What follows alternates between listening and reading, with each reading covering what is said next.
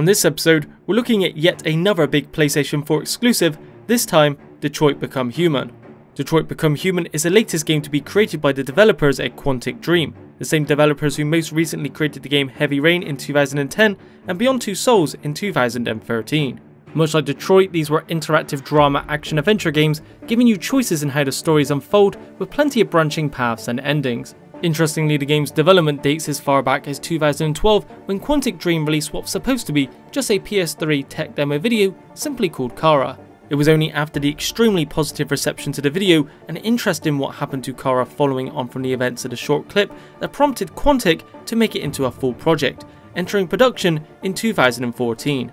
The story of Detroit Become Human takes place during the year 2038 in, as you no doubt guessed, Detroit City, and is split across three main characters, all of which are different models of android built for different functions.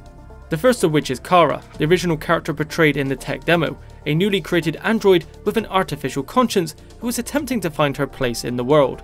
She'll however unfortunately find herself being used as an assistant in the household of a single parent domestic abuser named Todd, and she'll need to decide whether she breaks her orders or not in some tough situations after learning just how dangerous Todd can be, not only to herself but his own daughter Alice. The second character is Connor, a highly intelligent prototype police model android with a core function of hunting down deviant androids. Connor is set to accompany an alcoholic detective who doesn't exactly take kindly to his type and must attempt to earn his trust while also finding out more behind the mystery of the deviant androids using his specialized skills. The last character, and the one we've arguably seen the least of, is Marcus. Marcus belongs to Carl, an elderly painter who has lost the use of his legs, initially seeing Marcus as just a machine, but over time begins to form a bond with the android and feel affection for him, even seeing him as a son. This angers Carl's actual biological son, producing no doubt plenty of conflict.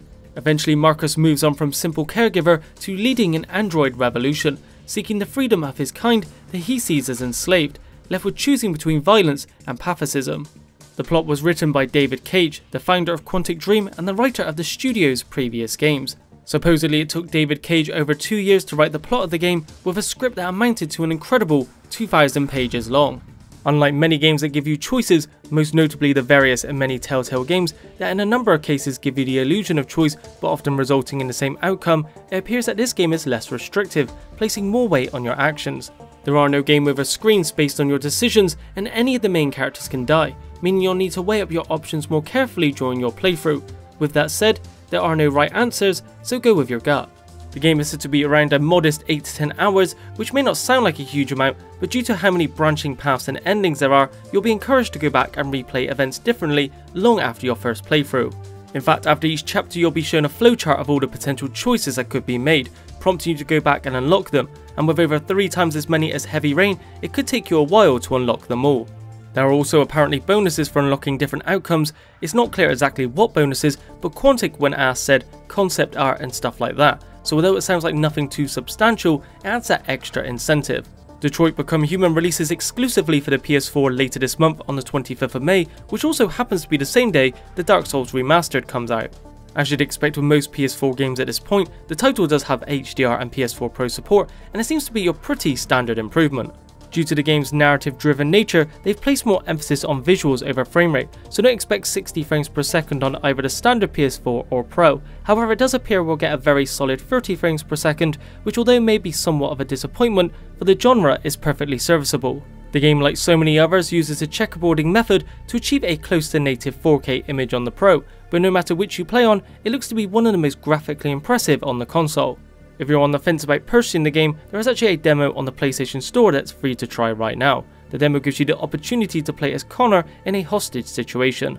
It also happens to be the same scenario that was originally shown off during its gameplay reveal in E3 of 2016, so you may have seen it before, but it does a great job of showing you what to expect from the game and how many different options you have to choose from. Quantic's last game, Beyond Two Souls, was not a bad game by any means, but was certainly not their best and arguably the studio's weakest game to date. However, I have good faith that Detroit Become Human is going to be critically well received, and I'm really looking forward to it. Let me know down in the comments if you'll be checking out Detroit Become Human later this month, or maybe if you'll be buying Dark Souls Remastered instead. That's it for today. If you enjoyed it, be sure to leave a like and subscribe to see more content just like this. Click the thumbnail on the left or right for another of my videos. Thanks for watching, and I'll see you on the next video.